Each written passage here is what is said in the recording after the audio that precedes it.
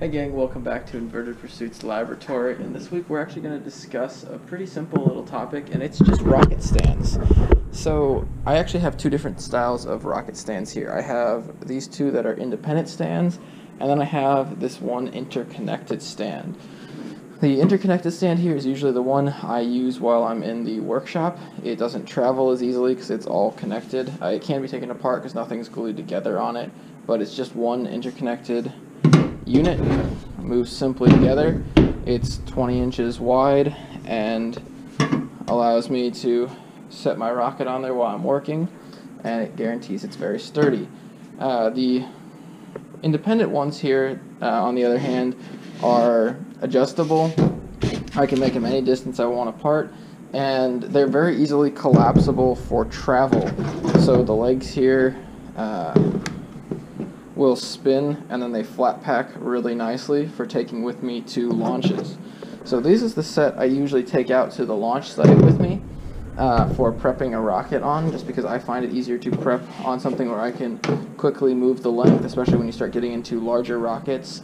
This works better when you're working on individual segments or smaller level 1 rockets and this is much nicer when I got to larger rockets. I was able to keep them spaced out where I needed them. I could suck them in really close together and hold only one segment on here, like what we've been doing for Kelsey's level 2 rocket she's been building. But these are just two different styles of rocket stands.